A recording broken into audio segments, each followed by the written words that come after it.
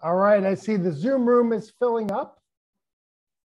Welcome to a special edition of Coffee Hour. We are visiting today with Mara Keisling, the founding executive director for the National Center of Transgender Equality. As always, we want to know who you are and where you're zooming in from today. You can put that information in the chat box or in the comments on Facebook Live. We will be starting our conversation in just a minute or two. Thank you for joining us for this special edition of Coffee Hour. Again, let us know who you are and where you're zooming in from. Welcome to our audience on Facebook Live. Good to welcome you in to a special Tuesday edition of Coffee Hour Tuesday. It's at noon, special time, special day uh, for a wonderful conversation that we have lined up for you today with Mara Keisling. She is the founding executive director for the National Center for Transgender Equality. Great conversation coming up in just a minute or two. For those of you who are joining us here in Zoom, you can activate the closed captions by seeing the instructions that are just been placed in the chat on how you can activate your closed caption experience should you need to utilize those services.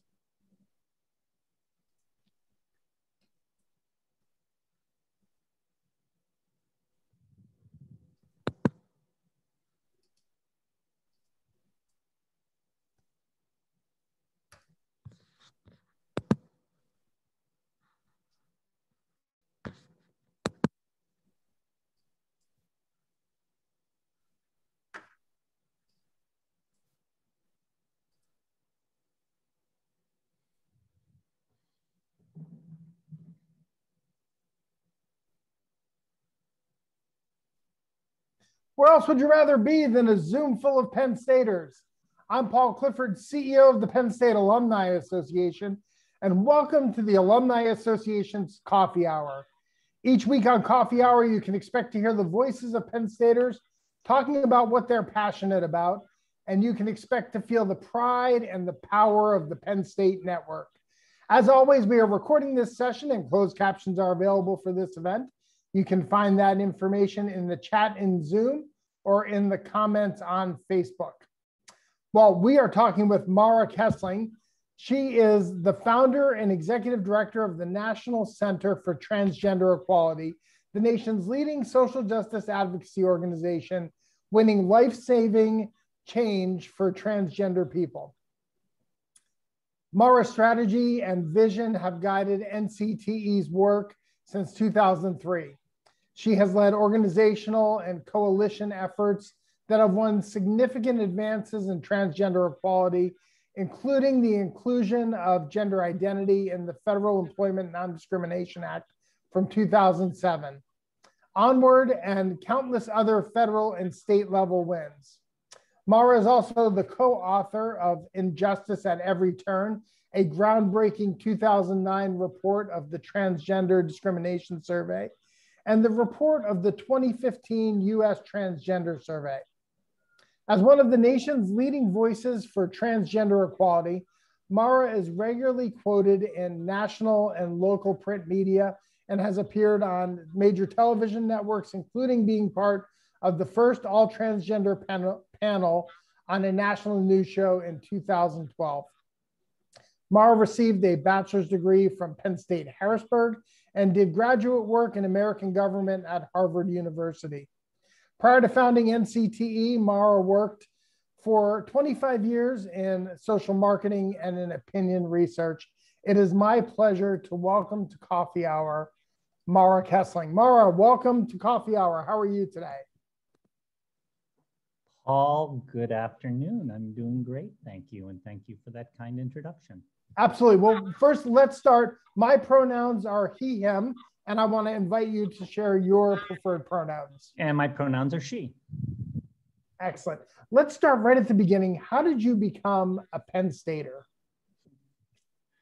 Well, I, um, though I was born in Scranton, I grew up uh, in the suburbs of Harrisburg and went to Susquehanna Township High School in case anybody uh, on the Zoom is, is from Susquehanna Township. And, um, you know, Penn State was a known, um, was, was obviously a known entity. A bunch of folks from my high school went.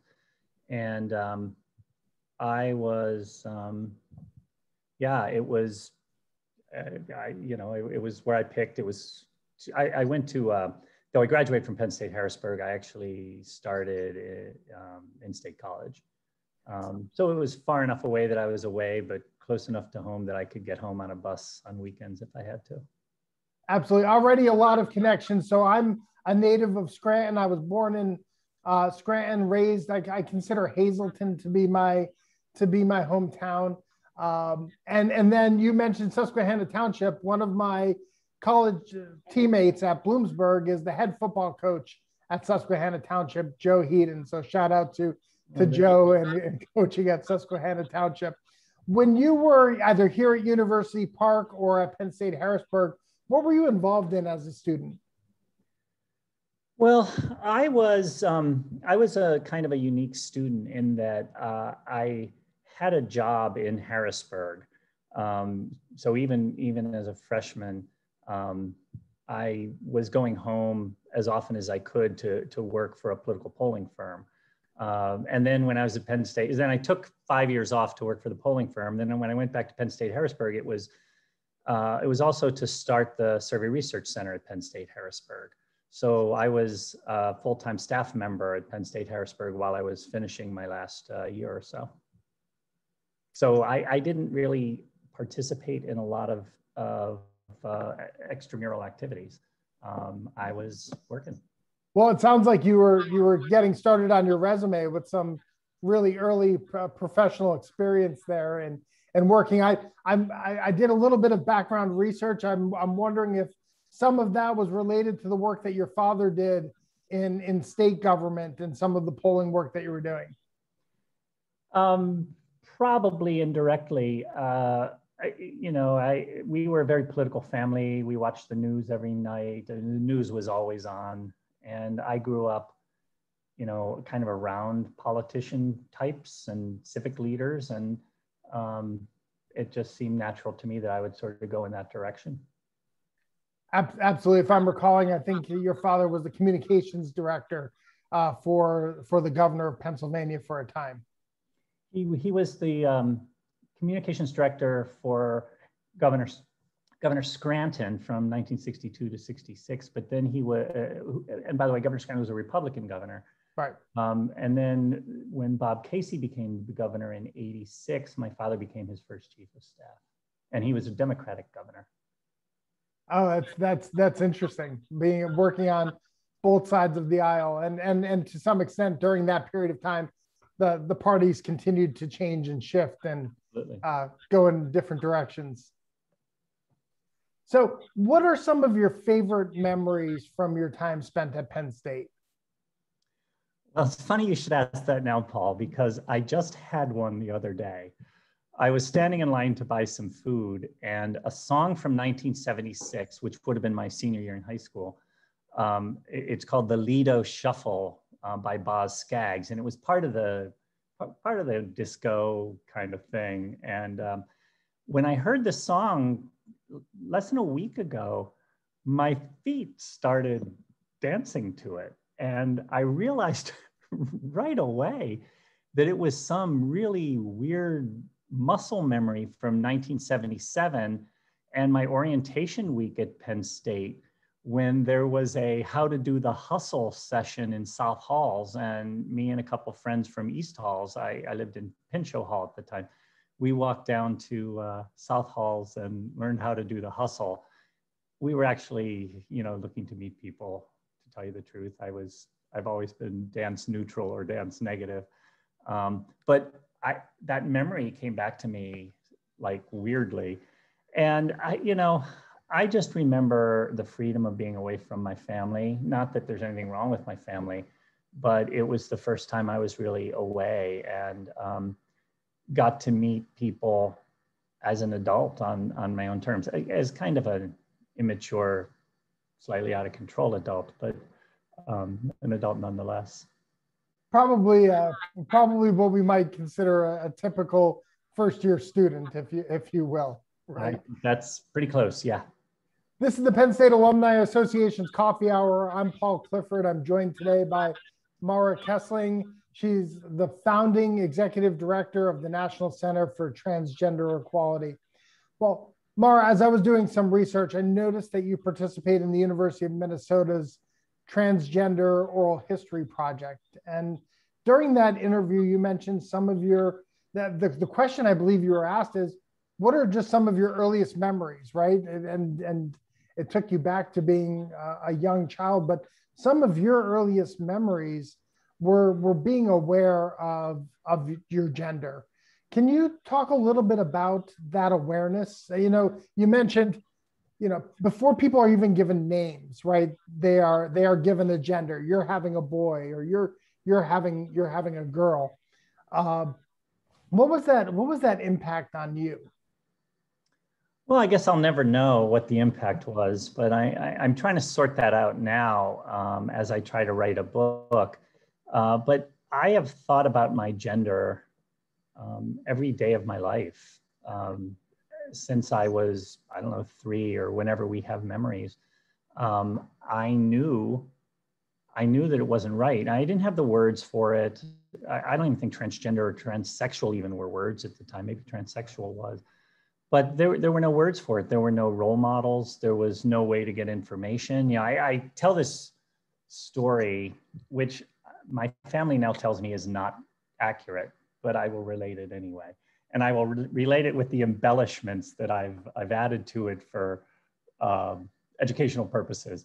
So things are so different now where parents can actually find information and help their kids. But, you know, in the early 60s when I was three, um, the story goes that I put my sister's brownie uniform on and went to my parents and said, "See, I'm a girl, and I'm going to be a girl now." Right.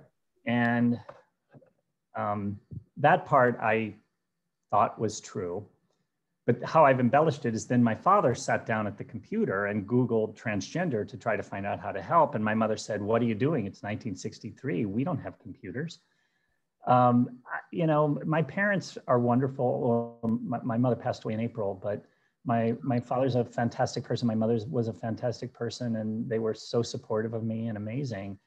There was nothing they could do for me in 1963. This wasn't really a thing. Um, the the kids who were brave enough and and solid enough to come out and survive it um, are just real heroes of mine. And I just knew I should just shut up and and keep it to myself. So um, that's what I did. But I've thought about it every day of my life, and it has certainly, if nothing else, been a huge distraction that didn't need to happen. Um, if I had been able to to fully realize all of me, I think um, I think I could have um, could have focused on more more things. Um, instead, I was just trying to figure me out uh, all by myself. Yeah, you mentioned in that interview that you were good at playing the part that you were assigned to. But but at some point you wanted to be you. What was what was that point for, for you and how did you kind of process what that journey might look like for you? Well, so I am not somebody who thinks of my life in a clearly defined pre-transition and post-transition way. I, I am not embarrassed or ashamed of my previous name or my previous life. Um, it is it, it is my context. It is what I was born into and what I survived and and and did quite well at. Um, uh, it was very hard and it was very lonely, and I you know I couldn't talk to anybody about this most important thing in my life. Um, and that was um, very hard and probably scarring. Um, but that's, that's what it was. Where it changed was in the early 90s with um, the popularization of the internet. And um, for the first time in my life, I was not the only person who felt this way, who thought this way, who wanted these things. Um, there had been occasionally signs of life from from other folks. Um, in unusual places, like in songs like Lou Reed's Take a Walk on the Wild Side or the Kinks' Lola. Um, those are representations that would probably really anger people today. But at the time, they, for folks like me, they were kind of hope. And once the 90s happened and the internet happened and AOL happened, um, and we started finding out about each other and we started meeting each other and um, supporting each other. Um, that's when um, that's that's when I knew that that everything was possible. It wasn't a question of it's hard and I don't want to do it. It was simply a question of it was impossible and then it was not impossible, um, and that's that's hard for for I think younger folks to to get. I, I, I did a year at the University of Chicago in between my Penn State times. And I was speaking there a few years ago. And the first question from a student was, How was the administration on trans issues we, when you were there? Right. And I was like, It was the early 80s. There were there were no trans students. You know, there were no trans students at Penn State in the late 70s. Of course, there were. Right. all of us were um, I don't even want to say closeted because it, it, wasn't even that. It wasn't a possibility. Um, there was when I went when I left for Penn State in 1977. I don't know if this is correct, but I believe it must be correct. There was not a single trans kid in any kind of school anywhere out. There were no kids in elementary school, high school, college, grad school, professional schools. It was not possible.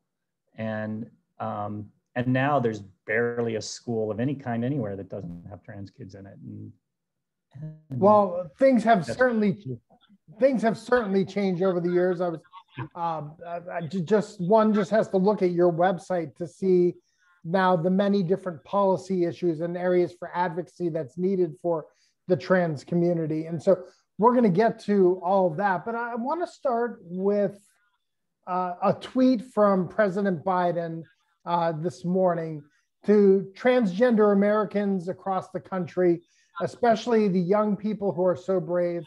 I want you to know your president has your back during Pride Month and all the time. What does it, what does a, a tweet and a message like that from the highest office of our land kind of signify to the transgender community? Yeah, and it's from our fellow Scrantonian, by the way. Yes, it is. It's really great. Um, it's you know it's really amazing. Um, the president uh, I think, as everybody knows, is is a genuinely caring person. Um, you know, he he is set to become the probably the most progressive president of our lifetimes. Right. Um, but in addition to that, he's a very deeply caring person, and and I have spoken with him about trans people, and he really, really deeply cares. He knows trans people. He has trans people in his life, and um, and and trans people, particularly trans kids need that so much right now when we're being attacked all over the country by these rogue state legislatures that are that are just using trans kids as political fodder. Um, you know, they we we had a bunch of years where they were trying to keep kids out of using the bathroom at school and using the bathroom in public and and now they've changed and now they're going after kids playing sports and and you know, this isn't elite athletes. Um, that's been a red herring. You know, claiming that it's about elite athlete. It's not. It's about the ninth grader who wants to be on the JV bowling team and and you know things like that. So having the president of the United States say he has our back, and to and by the way, to back that up with policies, we've seen already dozens of policies, and we're going to see dozens and dozens more over the next four years.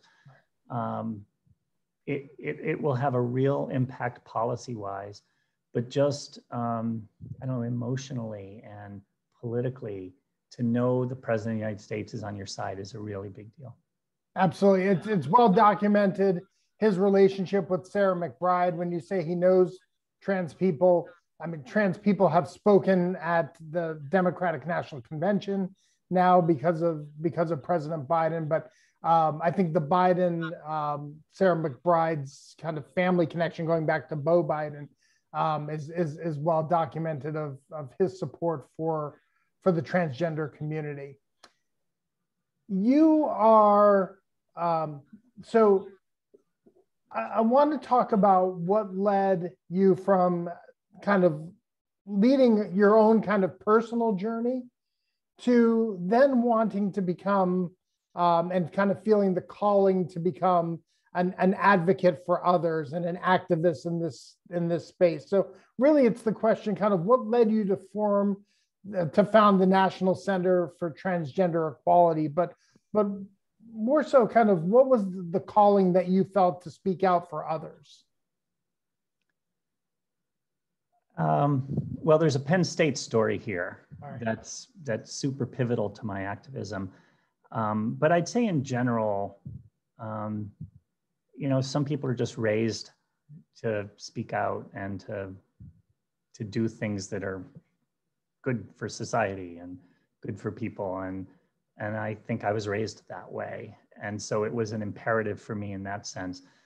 But in particular the logistics of it were um, I, I, transitioned um, in 2000 um, I started going to support groups in maybe 1998 um, I'd been to an occasional one before that, but I was in a support group meeting in 2000, and um, um, a friend said he was going up to State College that Friday to participate in a in a job fair panel for queer students. Um, and uh, I was like, "Oh, did you go to Penn State?" He said, "No, I didn't go to Penn State, but they couldn't find a trans Penn State alumni." And I said, well, I'm, I am one, and I, I don't want to upset the apple cart this time, but uh, you know, if you wanted somebody to ride up with you, I've got Friday free. So I went up to this job fair and did not participate in it, just was there as a participant. But I met Sue Rankin, who was a professor, and um, I, I think was trying to start at the time the Center for Sexual and Gender Minorities. And um, when Sue met me, and found out that I, at the time I think I was teaching political science, including a course on lobbying. And she was like, "Is there any chance?" And, and, Sue was also running the statewide Pennsylvania Rights Coalition, which was a predecessor to Equality Pennsylvania, and a, what it sounds like. And um, Sue asked me if I would sometime be willing to go and um, go with her and lobby state legislators. And my office at the time was about 100 yards from the state capitol. So um, that's how I got involved in in LGBT and queer and trans activism. Well, let's talk a little bit about the Center for Transgender Equality. What's the mission? What's kind of what does the the day to day leadership of that organization look like for you? so it's there's funny. a lot there, right? Yeah, it's really funny you should ask that. So I I, I know you know Paul, but maybe people don't. Uh, in uh, uh, earlier this year, I announced that I wasn't going to renew my contract and that this summer I was going to leave the National Center for Transgender Equality. And we're in that transition stage where, uh, honestly, I don't know what the leadership's like. Um, uh, Rodrigo uh, Heng-Lehtinen and my successor and I are doing the best we can of handing stuff off from me to him. This is not a good time to talk about what the day-to-day leadership is because sure, it, sure. it's fluid. Um, but it, but I'll tell you, we're doing a great transition. Uh, nobody does transitions like trans people. Um, so we're doing a great transition from me to Rodrigo um, that I think he and I are both really proud of. But NCTE is um, first and foremost uh, a, a, policy organization. Um, we our, our theory of change is that that policy change can can really dramatically impact people's lives. So we don't, we're not a grassroots support campaign or a support organization. We don't provide grassroots services to people. Um, we, we change policy. Um, that's, that's what we do. And we have been just incredibly successful at it. Um, there has not been a social justice movement, at least in the United States, that's moved this fast. Right. Um, we went from 20 years ago where um, you know, I, I was meeting with the minority leader of the Pennsylvania State Senate, who was a relatively liberal Democrat, and he wouldn't put trans people into the gay hate crimes bill. And he just said, oh, we'll lose all of our votes. Um, and then he looked at me and he said, but Mara, look at the bright side. A couple years ago, I wouldn't have let you in my office. And um, by the way, like six weeks later, we passed this bill through the Senate with trans people in it we got every single Democrat and 13 Republicans. It's Wow. still one of only two bills ever in, in LGBT history that passed through a state house, a Republican state house, Republican state Senate, and was signed by a Republican governor. Um, uh, don't know what story, what I, what I was answering. What was the question? Uh, just the, the day-to-day work of, So yeah, we're into a lot of things. We're into federal policy um, in terms of education, healthcare, um, criminal justice reform, immigration. Um, when NCTE was started, um, what we were trying to do was twofold. Number one, we were trying to create a voice for trans people um, in Washington, DC and in state capitals. And we've been incredibly successful at that the other the other thing we were trying to do was really trying to make what had been the gay rights movement into a real genuine lgbtq movement. And again we were so successful at that that um, it's probably gone a little bit too far uh, in my opinion. Um, and here i'm not speaking for the organization or for my successor but in my opinion we now have most of the big um, lgbt organizations doing almost nothing but trans work and hmm. trampling all over the trans people who are trying to do trans work. Um, so we've been really successful at that. Um, and um, yeah, I mean, that's what we do. We're, we're a voice, not the voice for trans people in public policy. So you, you recalled the question that you received at the University of Chicago when they asked, how was the institution on transgender issues. And, and at the time, there were no transgender issues, right? But now today, look at I look at the website, and there is no fewer than two dozen different policy um, initiatives or policy areas.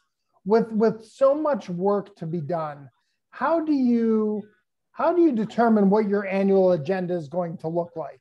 Is it when flames start to um, are ignited around. You, you brought up high school high school student athletes and and where student athletes can compete.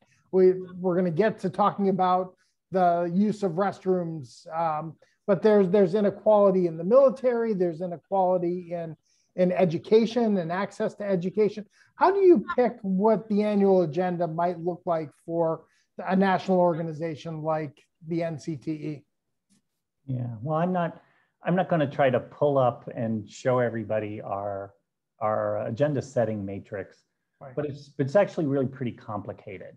It starts with one very simple rule, which is we try to focus on the work that the people who need us the most need the most.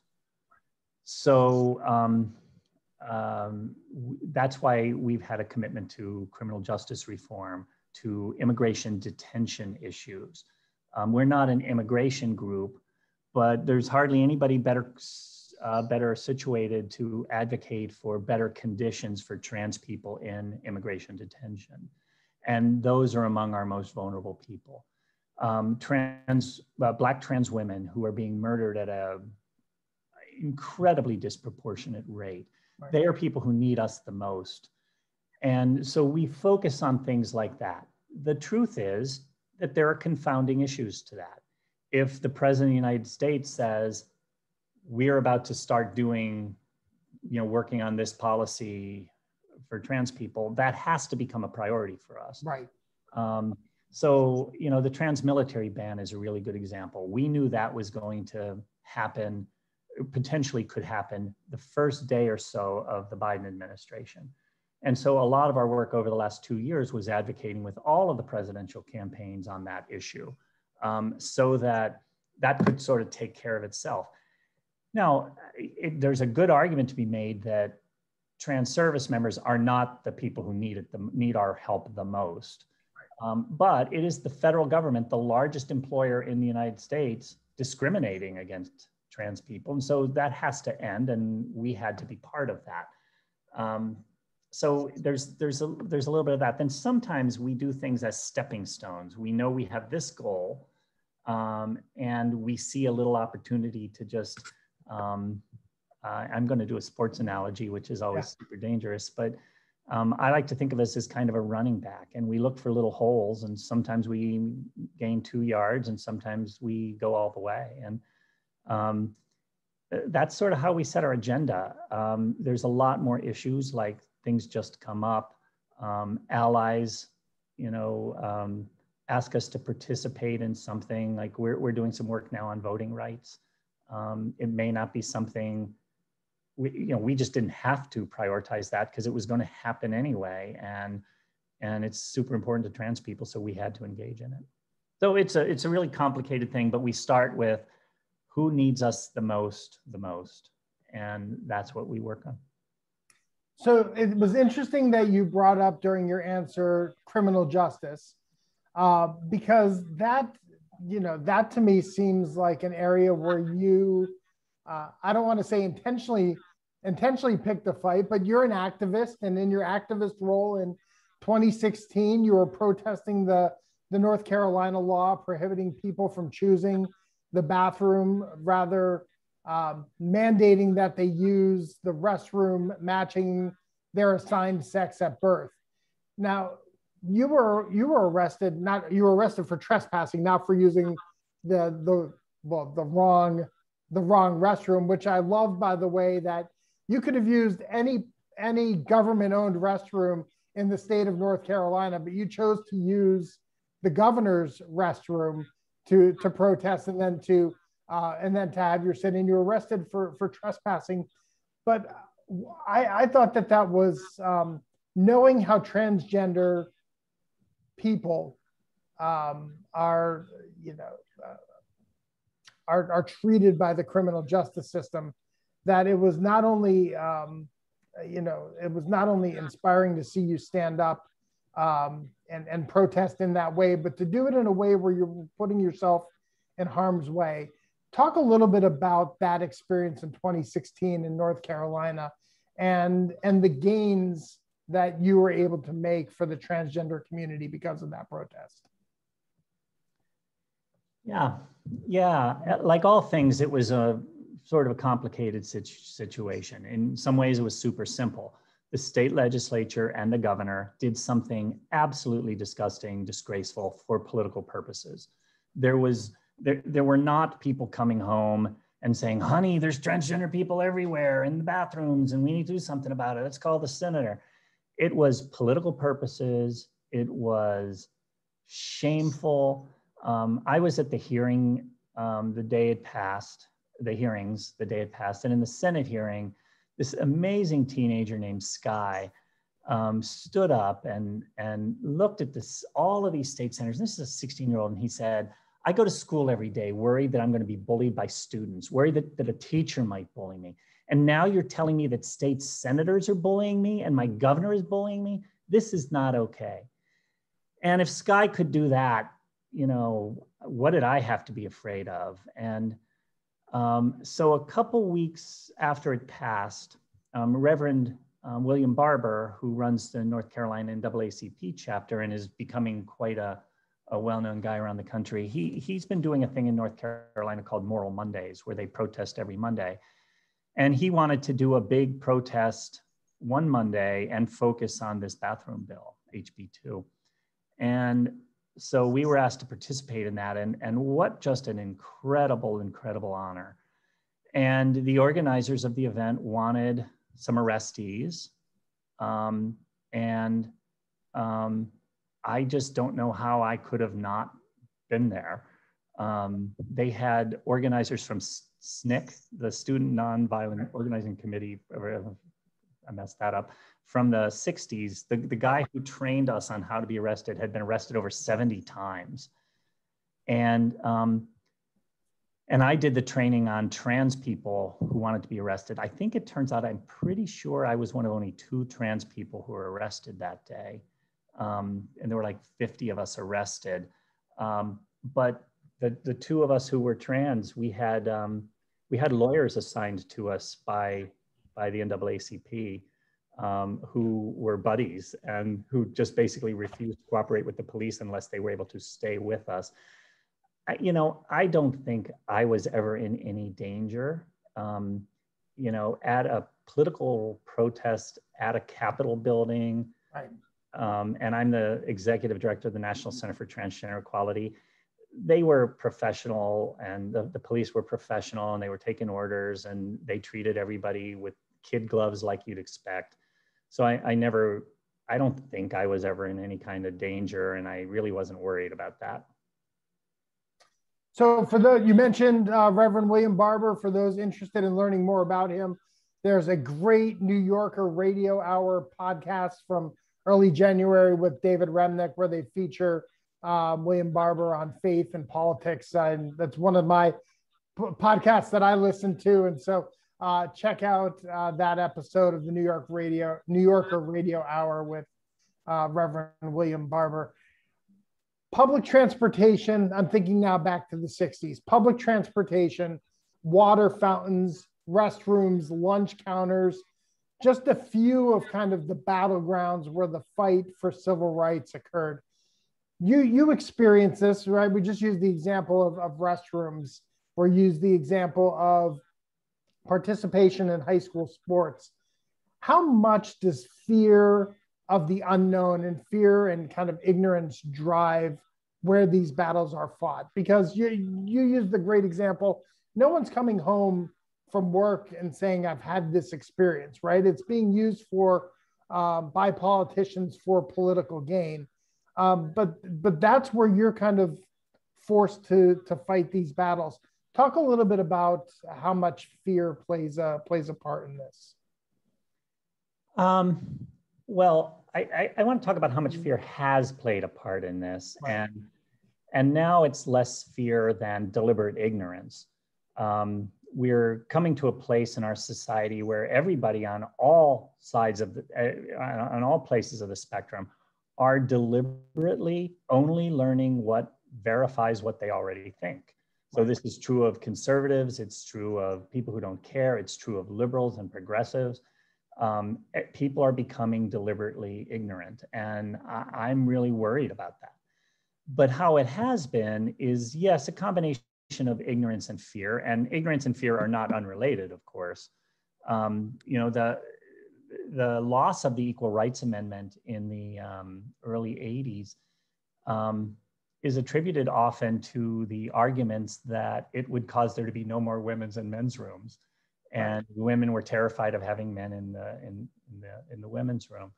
Um, and the, the Black Civil Rights Movement had a lot of fights and skirmishes and outright wars about um, public facilities like bathrooms and, and whether or not um, races could mix. I, I don't know what it is about that. Um, smarter people than I have analyzed that. Um, but it's, um, it's often fear and ignorance. And why the trans rights movement and the gay rights movement um, I'm deliberately calling it the gay rights movement in this instance, why they've moved so fast is, is because we've been telling our stories and we have been educating our families and our coworkers and, and the people we worship with. That's the most important thing any queer person does um, for, for queer equality, queer liberation. Um, and, and we we haven't been, so we have, we've basically infiltrated every family. Um, I, of course, I'm using infiltrated tongue in cheek there. All we did was be born, but we're in every family now. And that is, um, that's winning over armies and armies of family members to our side. And that's why we're winning. That's the primary thing. So for for movements to progress, right? You mentioned a number of different uh, civil rights movements throughout the history of, of our country. For them to make progress, it takes those from outside of the community, right, with privilege to kind of stand up next to to people within the community and and and kind of fight alongside them and to be good allies. Can you talk about what it means to be a good ally for people in the transgender community? Yeah, um, just remember that the battle, the, the, the battle is yours. Um, when I, when I fight for immigration detention, um, I'm not thinking about you know those people. Right. Um, if you ever hear yourself thinking those people, or God forbid, saying those people, uh, adjust yourself. Um, those people are us people. Um, I, I, don't happen to be an immigrant. I don't happen to be in immigration detention, but um, I know that if it's okay to hold an immigration detainee in solitary confinement for a year, it could easily be, um, I, you could easily do that to trans people. Or if it's okay to just randomly kill people because you hate them, can't really complain if they're people are going to do that to to me or my people. And um, I I just think being an ally means you, you have to feel an obligation to do something about it. And and what you do is is up to you and and your superpowers. You know, it's uh, we all care about different things. We all have different abilities. We all have different privileges, and um, and if you can bring yourself and your and and, and leverage yourself and your superpowers and your privileges and your shortcomings um, to help anybody, boy, you ought to do that. And um, I think that's what an ally is. And I, I don't think an ally has to get permission. Um, I, I, think we've um, gone a little bit too far in that direction. I, I, don't think allies, as I described earlier with the LGBT movement, should be trying to run the show all the time. But um, you know, you don't need permission to show up. You don't need permission to to stand on the ramparts and pitch in. Yeah, yeah. I I was talking to my daughters today about talking with you, and uh, you know, we got onto the topic of you know, in, in a lot of cases, it's just being there for for the people you care about, right? I mean, uh, it's it's about being a good friend and and supporting um, supporting the people that you're closest to and that you that you care about. And really it starts there. And you you alluded to this right? We now have the internet right? We don't have to be we don't have to be taught this right? We can go out and find that information on our own and, and learn. And i will point people to transequality.org where there's just a treasure trove of information uh, that people can can arm themselves with to know what the um, what the policy initiatives might be for the transgender community and and resources on how uh, you can it's it's the life it's the guide to being a good ally. Um, you know all those are readily available for those of us who who want more information about that you mentioned earlier uh, in that in march you announced and that you're going through a leadership transition at ncte uh, and your pending uh, retirement congratulations on on that. Uh, you've you were the founder, and now you're you're turning the reins over. But I would imagine that um, that you're not done. That it's not uh, retirement, and we're going to go sit on a beach and um, and and kind of let the let the work that needs to be done to other people. So what's next for you?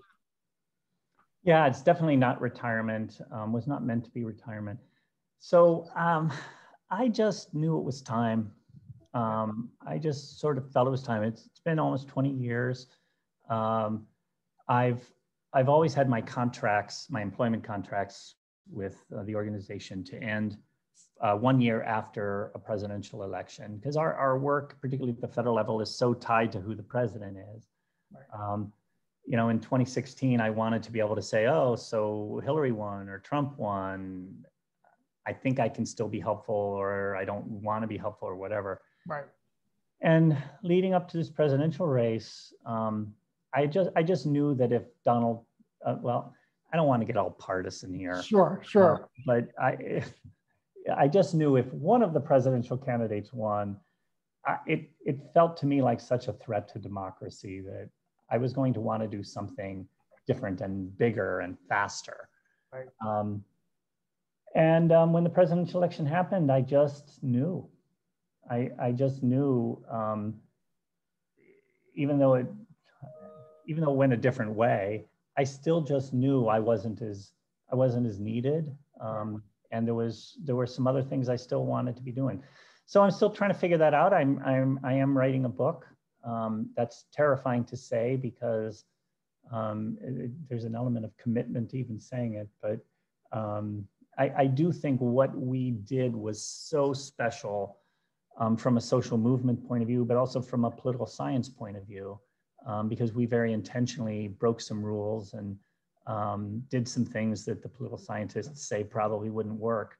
Um, and I, I, think what we did, and, and I don't mean me, I mean right. we, um, uh, was really pretty brilliant. And and there, there are lessons that could be learned from other movements. We went in 20 years from having no voice, no power, um, to having a really pretty strong, powerful voice that's that's getting things done. And um, and I'd like to tell that story. And then what else I'm going to do, I don't know. Um, I think the lessons I've learned from this movement would be incredibly helpful in several other kind of movements. um, I've been a vegan for 25 years and um, animal rights and particularly the, the nexus between animal rights and the environment um, are incredibly important to me. Um, by the way, another favorite memory of my time at Penn State was that there was ice cream at every meal. Um, wow. Oh, we're going to talk about that in just a second. We're oh, we are okay. A, a, little more in depth on on, on uh, the ice cream situation at Penn State and your involvement with that. This is the Alumni Association's Coffee Hour. I'm Paul Clifford. I'm joined by Mara Keisling. She was the founding director, founding executive director of the National Center for Transgender Equality. Well, let's let's dive into some of those more Penn State related questions. Um, how about let's start with your favorite class at Penn State?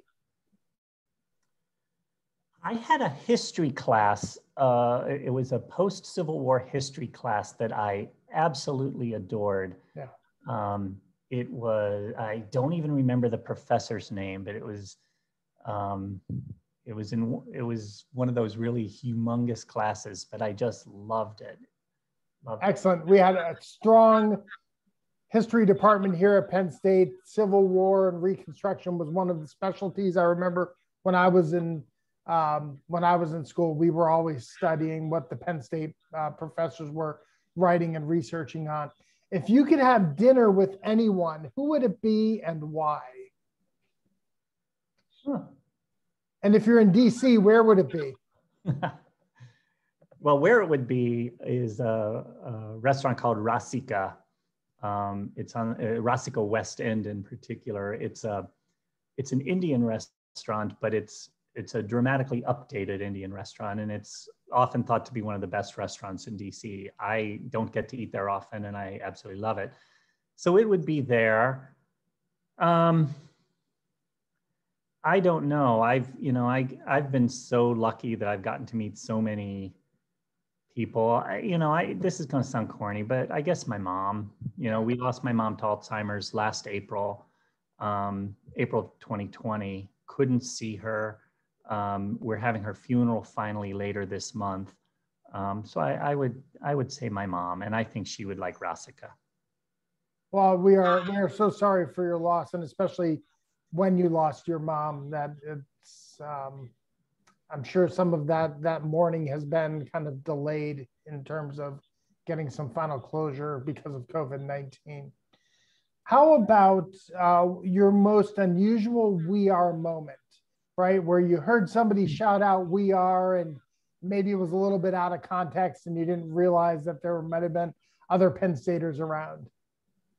Well, we don't do a lot of we are's mm. here in DC, and I don't know why. I've done it a couple times when I've walked past people wearing like a t-shirt or a hat or something, and they always just look at me like, what? Because they're usually in their 20s and I'm like 150. And so they're just like, why is this old person bothering me? But um, so I, I, will tell you one of my most recent touching Penn State thing. You know this, and there was a we are kind of moment. I was at a a, a, a graduation kind of event um, with the Center for Sexual oh. Diversity. probably four or five years ago. We were out on the hub lawn and and having been so alone in my transness when I was at Penn State, and I and I'm actually an introvert, and so Penn State at first can be a really challenging place for an introvert, right. and um, to see all of these fantastic queer kids who just were just so um, demographically but also visually diverse. And you know when i was when i was at penn state there weren't hair colors. Like your hair color was either black brown blonde or red. Like that was really the choices. Right. Now it could be primary red and you know and i just seeing all these kids and how they were there for each other and out on and and and there were chants and and it was amazing I believe it's called the Lavender Graduation Ceremony, and it is it is a wonderful event. One of those um, one of those traditional and iconic end of semester events that now happen uh, on an annual basis here at Penn State. How about your favorite Penn State sport? Um, I'm really not a sports person. Um, so um, I would say the entire intramural program. There we go. Excellent. Everybody and, participated in it. And I promised we would get to it, and now's the opportunity. Uh, your favorite flavor of creamery ice cream? Okay, so remember, I haven't had creamy creamery ice cream mm. in at least 25 years because I've right. been a vegan that time. But when I was in state college, by far it was just straight up chocolate. Um, I thought the the creamery chocolate ice cream was magical. It, it was the best ice cream I had ever had. And I, I have been an ice cream aficionado my whole life. Um, and so chocolate, straight up chocolate. Excellent. Mara, if people want more information about how they can connect with you or the work that you're doing, I know Ms. Magazine mentioned that you were one of the top social media, top people in social media to follow in the, the transgender community. If people want to um, connect or get more information, how can they go about doing that? Well, just to be a little ornery again and iconoclastic, um, I got off social media a little more than a year ago. Um, NCTE is on it at Trans Equality. Um, you can find us on Instagram, Twitter, Facebook, etc. But I am detoxing um, from the toxicness that is social media. Um, but uh, you can find all about NCTE at transequality.org. Um, and they know where to find me if anybody ever needs me. And, and by the way, uh, the center um, at Penn State knows where to find me if you ever need me. So talk to Sonia, who I hope is watching. Absolutely. But, um, we dropped um, we dropped some of those links in the chat if you're interested uh, you can go ahead and copy and paste or click on those links uh, that we were just referring to. Mara, thank you so much for joining us on the Alumni Association's Coffee Hour. Our alma mater says, may our lives swell thy fame. And the work that you're doing is certainly done that. And for that, we're truly grateful. Thank you. Thanks so much, Paul. If you are a member of the Penn State Alumni Association, thank you so much for joining us today and for your support. If you're not a member, what are you waiting for? Go to our website at alumni.psu.edu and you too can become a member of the world's largest alumni association. Thank you for all you do for the university, for the glory, and for the future. We are Penn State.